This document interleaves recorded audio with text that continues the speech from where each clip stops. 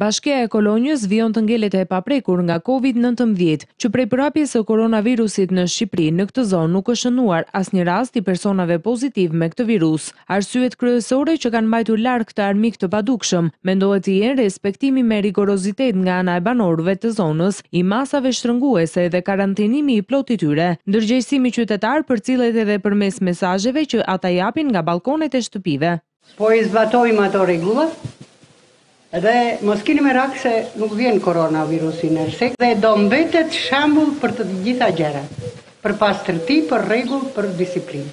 Po zbatojnë rregullat.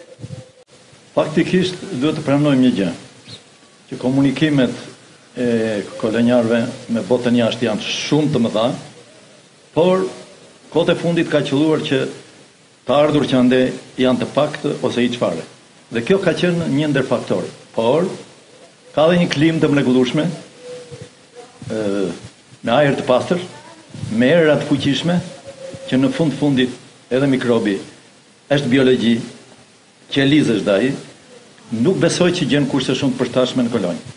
Veç asaj, mbi tetëdhjetë për qind, mbi tetëdhjetë për qind është respektuar. Pastaj të thyerjet të moshës ose të nevojave të tjera janë të tjera gjëra po që kanë qenë pa efekte negative. Pensionistët janë më të rezervuar edhe nga frika e moshës që kanë dhe në tërësi shërbimet u janë bërë nëpërmjet njerëzve të tyre por edhe pjesëmarrja e bashkisë ka qenë pozitive në ndihmë të tyre. Dhe në këtë kontekst, përgjithësisht janë përgjigjur pozitiv edhe pleqtë.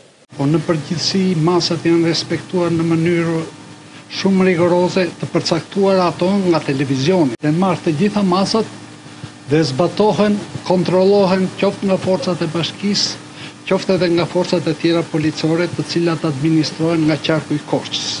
Deri më tashti është fat i madh për Kolonjën, jo vetëm për respektimin e këtyre rregullave, por edhe për vetë kulturën kolonjare që deri më tashti nuk kemi patur ndonjë rast të kësaj natyre. Unë vetë jam një pensionist i kësaj kategorie. Të vështirë e kemi.